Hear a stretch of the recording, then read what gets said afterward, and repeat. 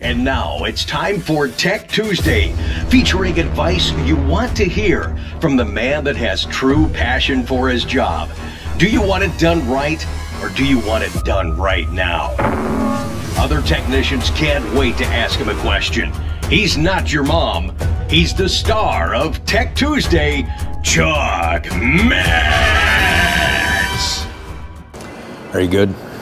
I'm always good. They can't they can't see my rolling eyes behind the camera. As I'm reminded we are in a shop.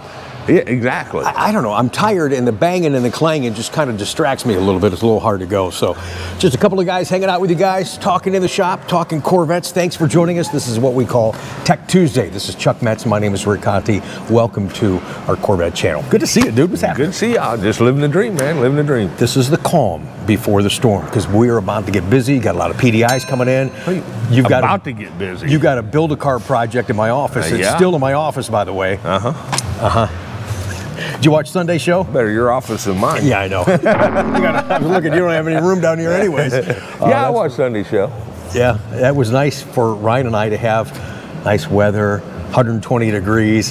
When you and I, when he and I went for the dealer trading, it was December. We're driving to the track, and as we pick up our rental car in Vegas, Chuck's like, uh, is that snow? Yeah. I'm like, yeah, we're going up in elevation.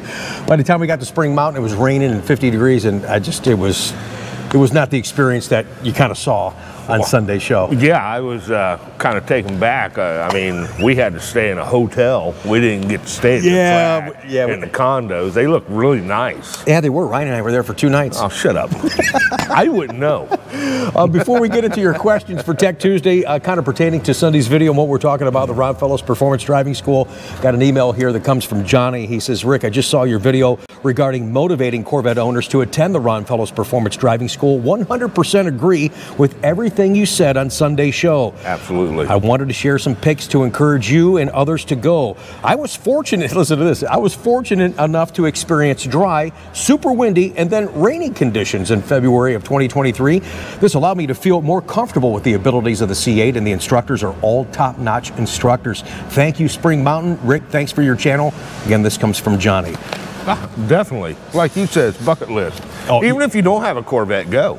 How many times have I told you to go? You've heard me talk about it. We finally get to go. And we unfortunately had those conditions yeah. uh, that we endured in December of 19. But you got, and we had kind of a rush compact course. Yeah. It wasn't the full two day course. We got a day and a half, and yeah, it, it, it was a lot. We were still standing there. Wait, don't don't go. We still have questions. It's like trying they to. said shove. we'll get to them before the end of the class. Like, no, no, no, come on, you got to go. Yeah. we got the push broom. Five he said, let me let me show you the door. Okay, so we were it, it, was tough launch for C8, uh, but the staff.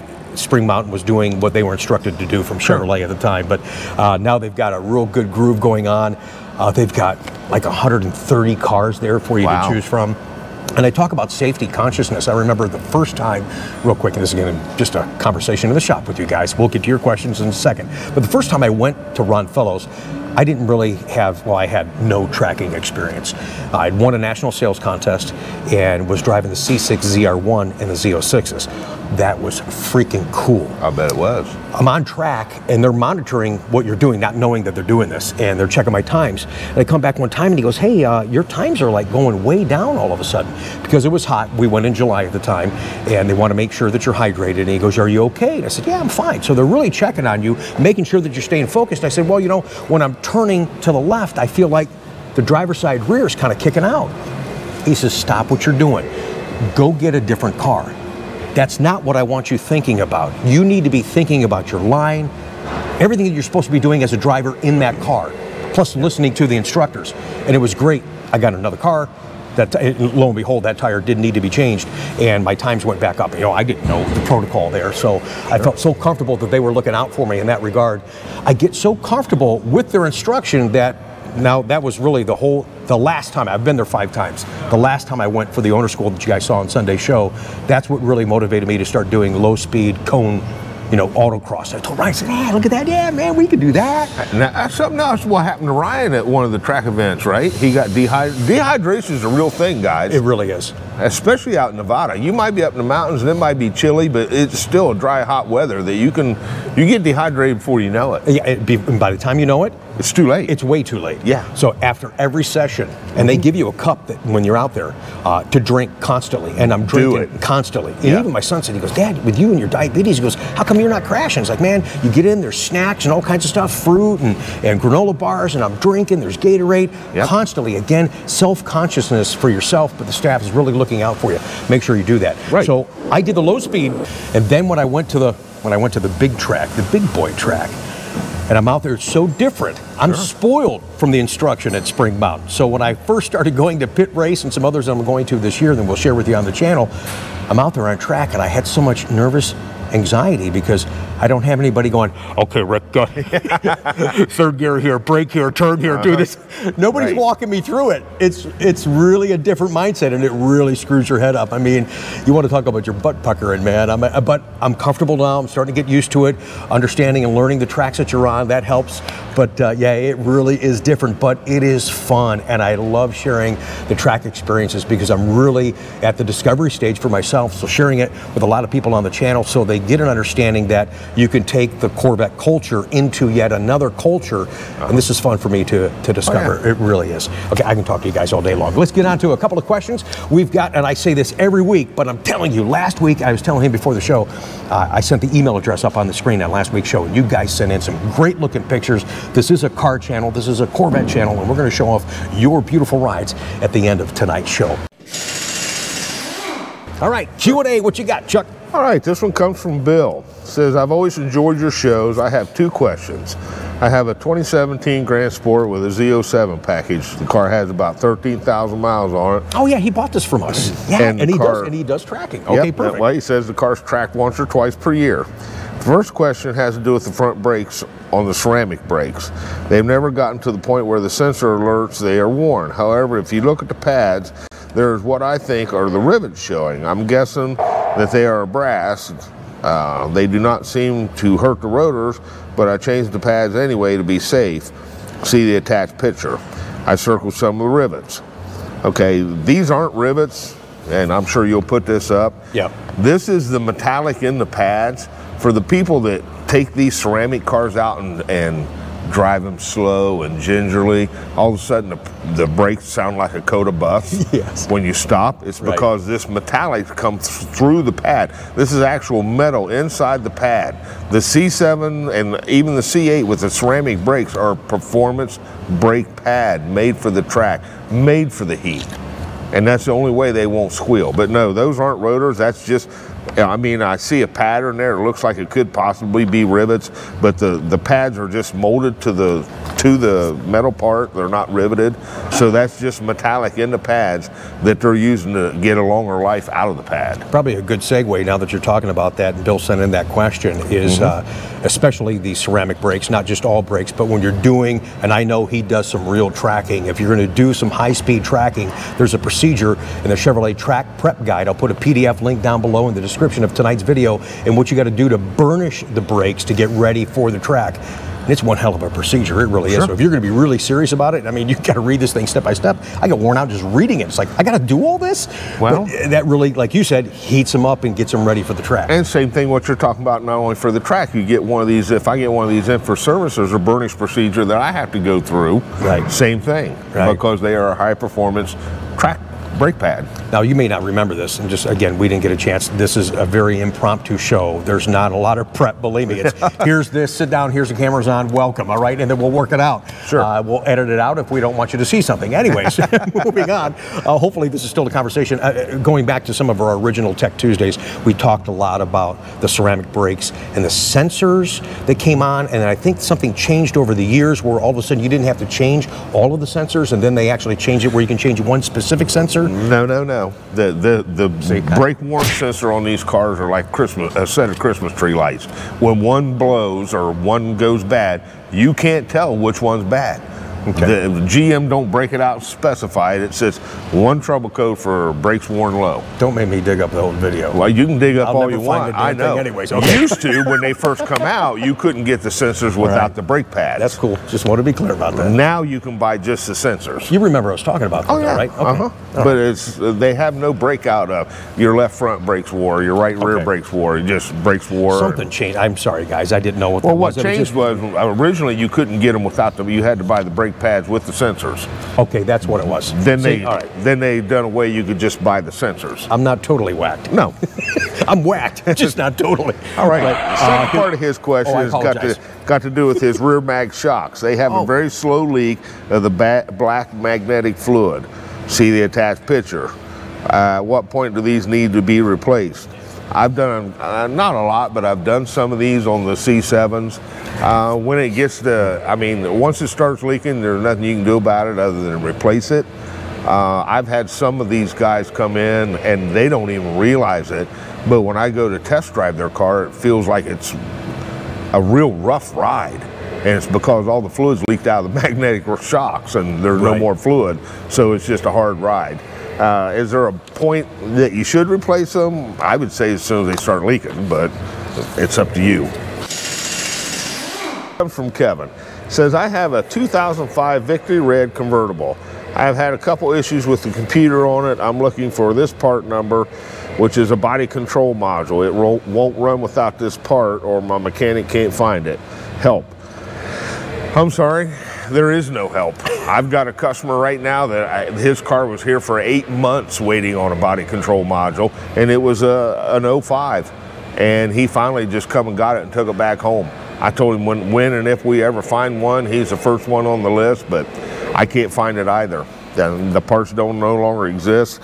I don't know if there, there might be some places out there possibly rebuilding them, but if the part don't exist, I don't know that the parts to rebuild them exist. Right. So that's a problem we're running into with C5 Corvettes and C6 Corvettes. Absolutely. And it's unfortunate to think, I guess it makes it realize and kind of scares us that time does move a little bit faster. Sure. He's like, those cars are, how, how old are those cars? Oh my gosh. Yeah. And you guys will send in messages, hey, can Chuck check on this? And Chuck Chuck doesn't check parts. I want to think John in our parts department actually did the research on that. Right. You know, he gets the parts too, Chuck, and then Chuck puts them together for you. Uh, but that part, as Chuck just mentioned, is discontinued. It's not anywhere available, so you can't no. order it. And I've got a customer waiting on one. And he's got a customer waiting on one. So getting them rebuilt is a possibility. But the last time, the last time you actually had one rebuilt, it took six months to get it back from the guy.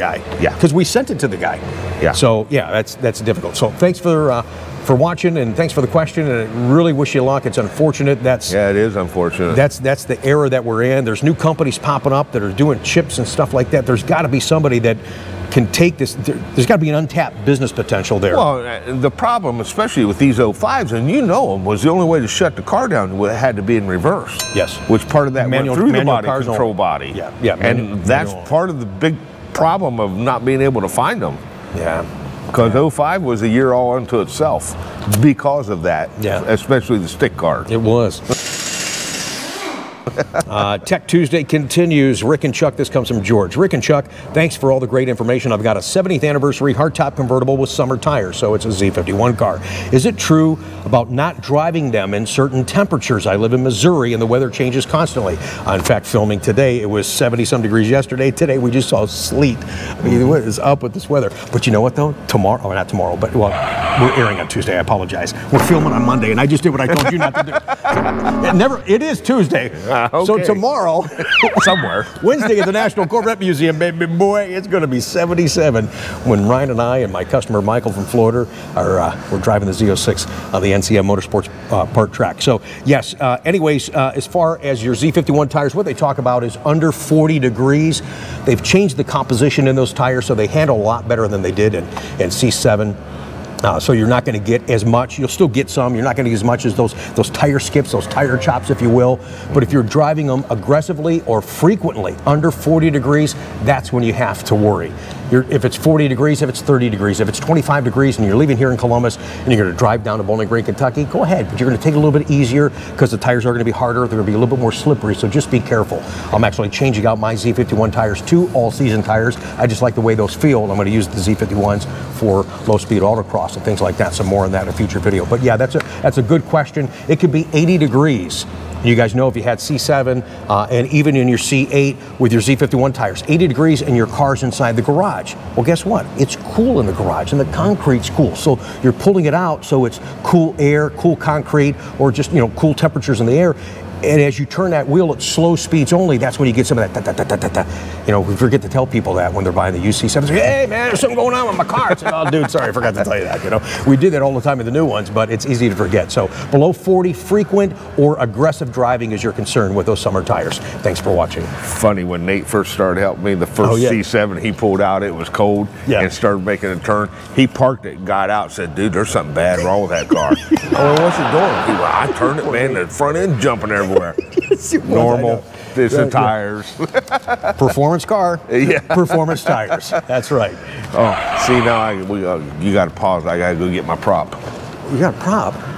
Yeah. Oh. I told you to get. Okay, I know, I know you told before. me to get it. Every time we talk about this, we, we get another thing. We don't have it every time. Sometimes we show it and then you miss it in the video that we don't show it, and then the questions just pour in. Yeah. Uh, last time we were talking about some of the maintenance and stuff I was doing on my 21 before I sold it to Pete in Corpus Christi, Texas. So uh, go ahead, sir. Right. This one comes from Mike. My question is back in 2020 or maybe early 21.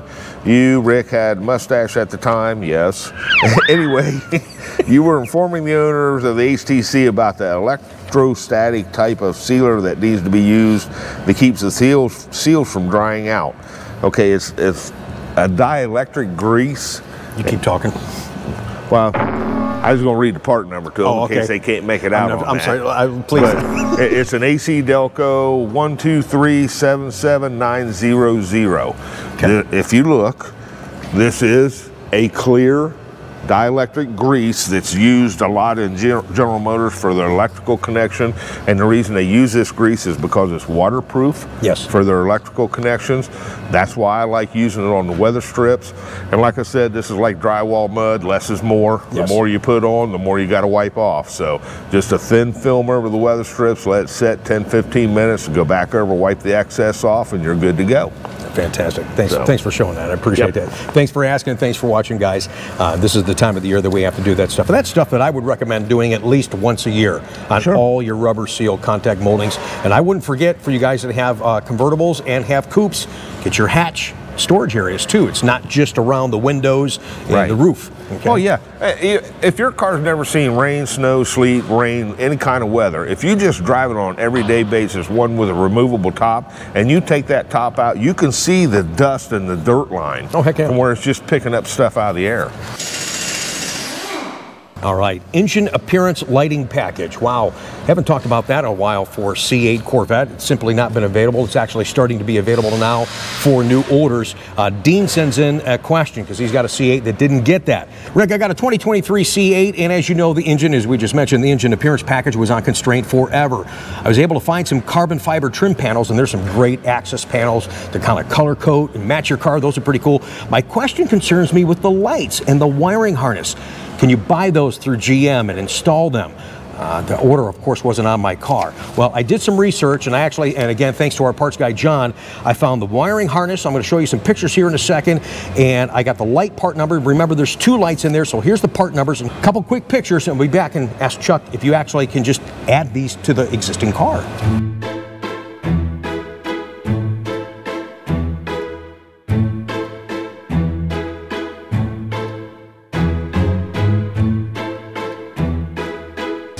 Right, so no idea. Yeah, I'm sorry, I didn't mean to do that to you. I just yeah. I don't know if these require a module or what have you. Uh, it didn't look like it needed anything fancy. There's a chance that they, we've talked about this for a while, that they could just get this wire, it looks like a lot of work, uh, to put these lights in and the wiring harness, if you can get to all this crap, and right. put that in, then God bless you to get those lights that well, really should have been on the car from the start. Sure. Regardless of the package. There has to opinion. be a wiring harness inside the car, though, for that to plug into. Correct. So, so, yeah, until you tear it apart, you won't know. So right. at least we answered the question, did a little uh, little R&D for you. Thank you Sure. again to our parts guy uh, to got us that, that information, that graph, as well as those part numbers. Uh, rest is on you. If you actually get that installed, though, let me know. I'd be kind of curious. Sure. Yeah. Thanks again for watching. All right, this one comes from Brian. It says, very quick question. When you use the floor jack on the jacking pucks, where do you put, where do the jack stands go? Oh, where do the jack stands go? I, uh, that's a tough one. It is. I- It is. It is. A, there's a delicate area underneath that car. Uh, yeah, there's a very delicate area.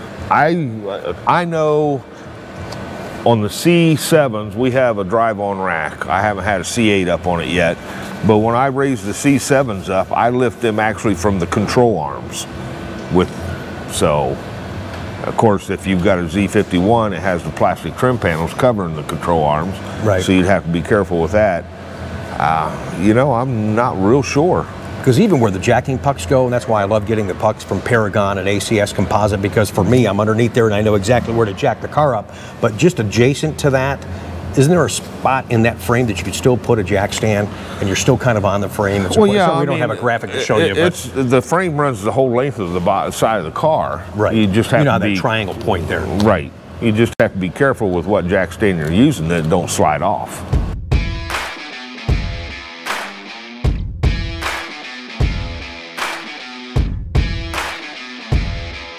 Depends how much work you're doing underneath there. Sometimes they got those those drive-on racks, you know, Yeah, race ramps, sell some stuff. You just drive up and they're up in the air already and do what Right. you need to do. That might be a nice, safer idea. And those are light; they're not real heavy. Right. So I don't know, just a couple of ideas. But yeah, Sure. that's what we like to talk about. Is you know, you guys owning your car, stuff that's going on with the car, stuff you like to do with the car. We like to show off your car. We got some rides coming up here in a second. couple quick uh, emails that kind of pertain to the ride segment. Uh, this comes from Tony to uh, Rick and Chuck. Look forward to seeing you guys at Corvettes at Carlisle this year. I don't know if we're gonna be able to make. I would love for us to go and do that. I tell you. Once again, I have to say, you've changed the attitudes, thoughts, and feelings for the better. Both you and Father Chuck do a hell of a job educating and entertaining us. I know it takes a toll, but we really do appreciate the efforts. Tony, thank you for those uh, Yep. sentiments. We really do appreciate that more than you know. You've also hypnotized us without even knowing it. Every time you play that song at the end of your beautiful ride segment, I get this feeling of happiness. My wife agrees it's a fantastic way to celebrate and share the Corvette feeling with everyone. Thanks again, Rick and Chuck, for all that you do. Yeah, thanks. I love playing that song. We got some people that said, you know, hey, I want to change the song up. No, that's that's a staple house, man. Yeah. And it's it is a feel good song. Absolutely. You know, and depending on the mood that you're in, some days you might even you might even shed a little tear if you start thinking about some stuff. You know, some of the pictures that we share with you guys. Again, I've got some good ones for you. Don't go anywhere. Fun conversation, real conversation that we enjoyed having with you tonight. Uh, here's another one pertaining to beautiful rides. This is uh, Rick and Chuck. Been watching the channel for about three years now, and you've inspired me to get on the track. In March. My wife Kathy and I took our 16 Z51 down to the NCM Motorsports Park. I raced their C8 on Monday, and my wife riding shotgun with one of the instructors. We drove ours on Tuesday. Uh, then we took the tour of the museum, did the Stingray Grill. Isn't that burger awesome? Oh my gosh! and then we did. You got to taste that. You like burger? I'm telling you what, brother. Probably the best burger you ever have. And then we did the Corvette plant tour. What an experience for both of us. Now she's ready to drive on the track on our very next trip. Great people out there, and without you, Rick, promoting Corvette like you do, we never would have made that trip. Thank you again to Marty and Kathy from Ohio. Thank you so much for watching, guys. Let's show off some of these great looking cars now, Chuck. Oh, absolutely. What are these? What are these people going to look at right now? These are your beautiful rides. Oh, yeah. See you next week, we hope. Yeah.